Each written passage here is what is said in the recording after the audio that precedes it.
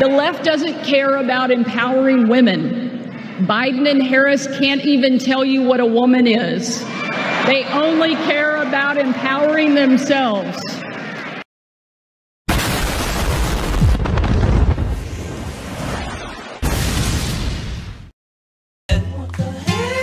That woman number one is ugly. Imagine how bad she smells, man. I'm told her and Obama just stink. Obama and Hillary both smell like sulfur.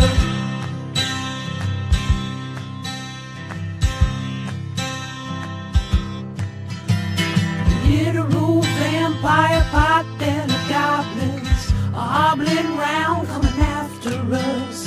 My spirit gets close to that evil and I feel it go. Ah,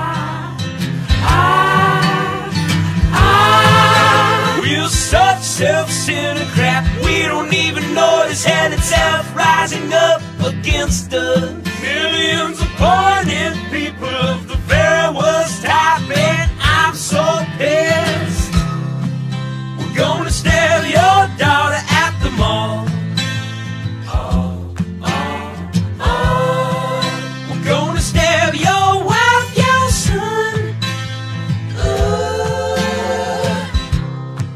We're gonna stab you with